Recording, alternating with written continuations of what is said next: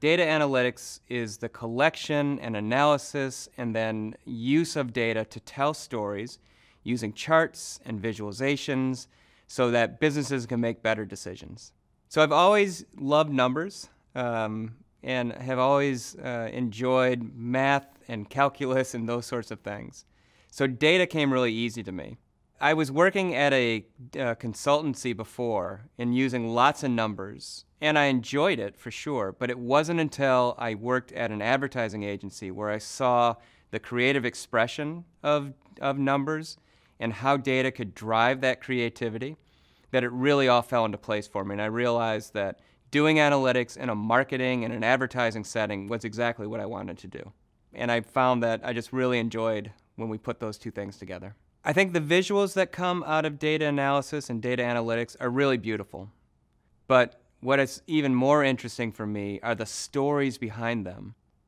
If you look at a big block of text or a big block of numbers, those stories are in there, but they really have to be found.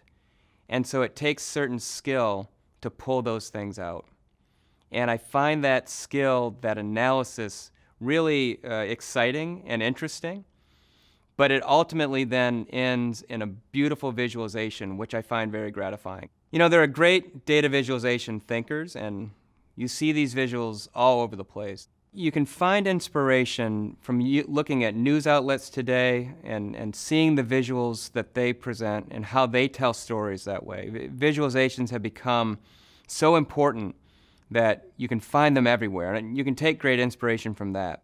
But I also take inspiration from unlikely sources like photography and art and others, and seeing how um, composition is created, how color is used. I think that's really important, and I try hard to bring those sorts of elements and those sorts of influences into the visualizations I create. So I know this course is pretty intense. We are throwing a lot at you. Your brain is probably overloaded. You're probably fried. Just stick with it. Uh, it's all going to start to piece together and make sense. The biggest thing that I think you can think of is just how important these skills really are. This is the new way of doing business, involving data, using the analytics tools and techniques that we're talking about to make decisions. So there's a great big reward waiting for you at the end of this course. I'm Kevin. I am Director of Analytics here at Google. Congratulations on finishing this video from the Google Data Analytics Certificate. Access the full experience, including job search help, and start to earn the official certificate by clicking the icon or the link in the description. Watch the next video in the course by clicking here, and subscribe to our channel for more from upcoming Google Career Certificates.